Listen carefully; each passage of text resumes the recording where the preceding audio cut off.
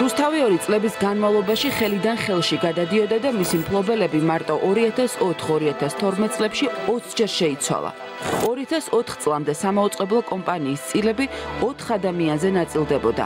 30-30% ჯარჯი აქიმიძეს, დავით დვალს და ეროსი კიცბარიშვილს, 10% კი ნიკა ტაბატაძეს.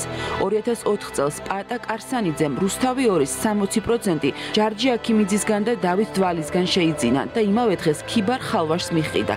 ხალვაშის კომპანიამ შპს პანორამამ ნიკა ტაბატაძის 10 და ეროსი კიცმარაშვილის 30%-ით შეისყიდა. 2005 წელს იმჟამინდელმა ხელისუფლებამ გადაწყვიტა, რომ ტელეკომპანია ისევ უნდა გასხვისებულიყო და დაიწყეს ქიბარ ხალვაშისგან წილების გადაფორმების პროცესი, როგორც ბიზნესმენი ამბობს იზულებით.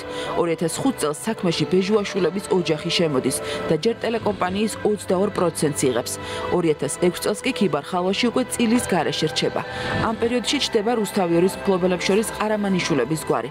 მას შემდეგ რაც 2011 წელს პარლამენტმა ოფშორული კომპანიების მიერ მაუწყებლების ფლობა აკრძალა, ლევან ყარამანიშვილმა რუსთავიერის ოფშორში დარეგისტრირებული ორი მფლობელი კომპანიისგან ჯამში ტელეკომპანიის 90% შეიძინა.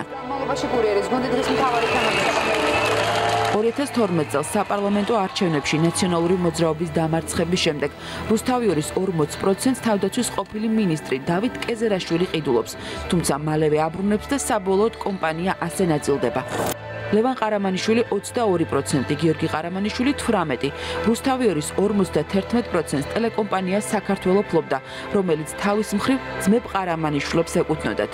დარჩენილი 9% კი გიორგი გეგეშიძეს, რომელიც 2014 წელს გარდაიცვალა და წილი მის მეუღლეს გადაეცა. ბიზნესმენმა ქიბარხალვაშმა საკუთარი ქონებისთვის ბრძოლა 2015 წელს დაიწყო და საქმე უზენაეს სასამართლომდე მივიდა, რომელმაც რუსთავიორის 100% ქიბარხალვაშს მიაკუთვნა.